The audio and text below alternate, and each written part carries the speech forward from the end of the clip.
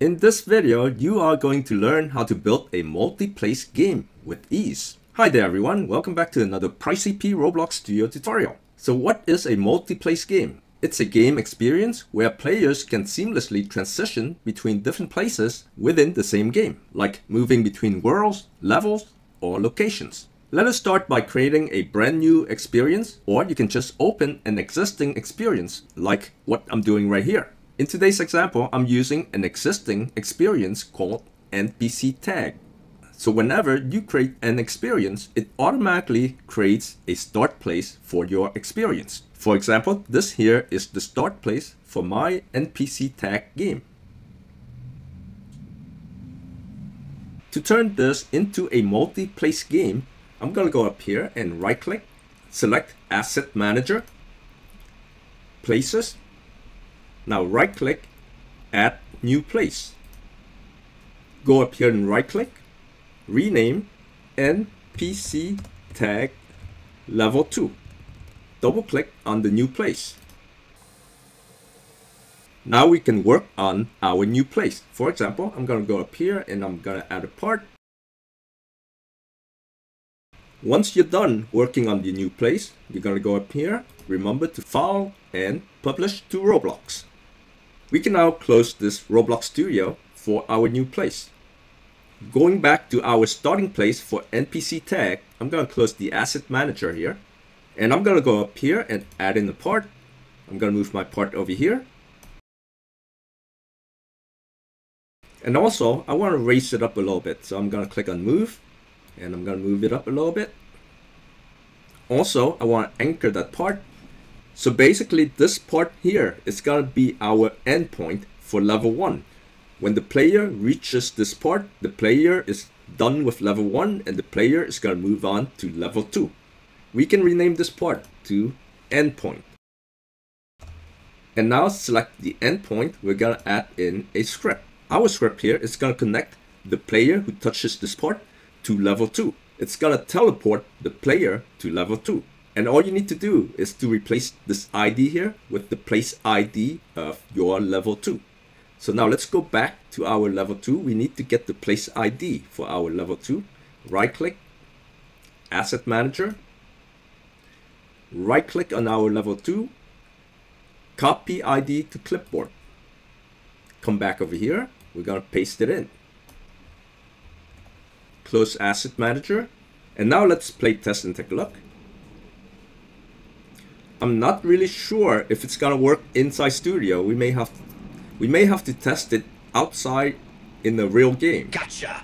So I'm gonna jump up here and you can see I am not teleported to level 2. Alright, so it doesn't look like it's working inside Roblox Studio. What we're gonna do is we're gonna stop this and I'm gonna publish this to Roblox. So remember, we have already published our new place to Roblox and we have published the changes to our starting place to Roblox. Let's now test it on Roblox. So here we are. I'm gonna go to my endpoint, which gonna take me to level 2. Wow, I'm missing all the girls. Alright, ready or not, here we go. And there we are, we have been teleported to level 2. Another thing I want to show you is how to transfer a place from one experience to another experience. Let's say if I have another game here, Pebble Heaven A New Beginning. So this one here has its own place.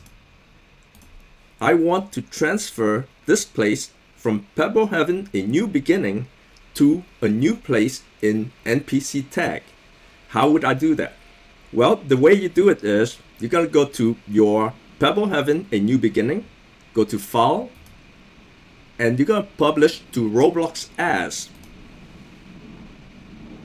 Here, you're to look for the other game. So I'm going to look for NPC tag, which is right here. Select NPC tag. And on this next screen here, instead of selecting NPC tag, which is going to override NPC tag, or if I select NPC tag level 2, it's going to override NPC tag level 2. But in this case, how about we create a new place? Instead of overriding one of these two places, I'm gonna create a new place. So I'm gonna add as a new place and click on create. Successfully published. Now we can close everything and let's go to NPC tag, see if we see this new place inside NPC tag. Here we are back inside NPC tag. We're gonna go back to asset manager And there it is. This is the new place that we have copied over. So how about I'll rename this place to NPC tag level 3 and I'll rename this one to NPC tag level 2. One other thing we need to do here is I need to right click and copy ID to clipboard. Go back to the script and we need to paste in the place ID. Now we can close this, publish to Roblox. And now we're gonna test NPC tag on Roblox. Again, I need to go to the endpoint of level 1. And here we are. Hop on it and it transported me to Pebble Heaven, a new beginning. I like turtles.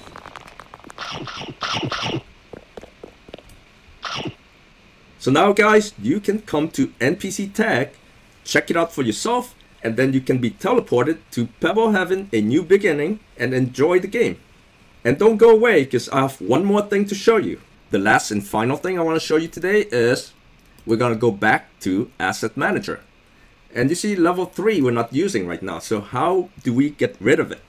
To get rid of a place, basically you just gotta right click, remove from game. Are you sure you would like to remove the selected place or places? Confirm and it's gone. Guys, today is your lucky day because I got one more thing to show you. Here I have added a screen GUI to my replicated storage and name it teleport GUI. And then go to your starter player scripts, add a local script. In your local script, just insert the following lines. Now publish it to Roblox and let's go test it on Roblox. Here we are, let's take a look. Again, I'm gonna fight through my level 1 here by getting all the ladies. Gotcha! And once I got all the ladies, that board over there should appear. And that is gonna take me to level 2. Here we are. And pay attention. There it is. It says level 2. And we are now in level 2. I like turtles. Alright guys, I hope you have enjoyed the video and find the information helpful. Don't forget to like, comment and subscribe and we will see you in the next video.